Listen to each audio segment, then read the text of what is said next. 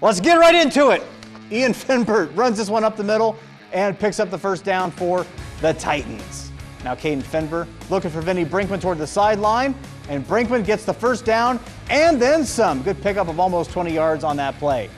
However, nothing doing. Knights take over, and Trent Leiter breaking through some tackles, and he picks up the first down. Leiter now again just muscling his way forward to move the chains for the Knights. They didn't really try and dodge anybody, just kind of push people ahead. Joseph Dzirwa looks to run himself, but he's going to get knocked back, loses the football, and the Titans end up with it. Fenber now looking for the open man, but Dzirwa says, oh yeah, I'm going to pick it off, and slides safely into second base.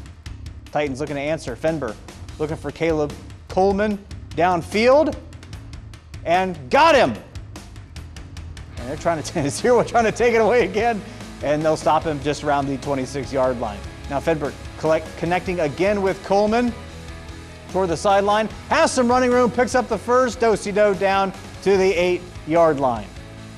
Fenber now takes this one himself and runs it right up the middle, gets some help from his friends, push ahead for the touchdown. Titans take a 7 0 lead. Knights looking to respond at Dzirwa, finding Jack Simpson and picks up the first down, but the ball comes out and Ottawa Glandorf falls on top of it. They are in business again. Titans looking to add on to their lead. Fenber finding Colin White downfield just shy of the goal and hits him.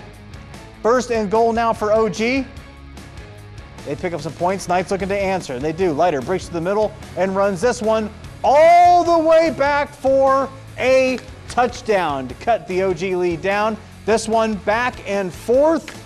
OG coming away with the win on a blocked field goal at the end over Otsego 24-22. This game on now over on WOSN if you want to check that out. So updating you on Region 18, looking at OG and Elyria Catholic will be the teams locking up in the regional final. And this one should be a good one. Don't know where that's going to be yet. Just assume that I'm going to say that for the rest of the episode because the OHSAA will reveal that stuff tomorrow.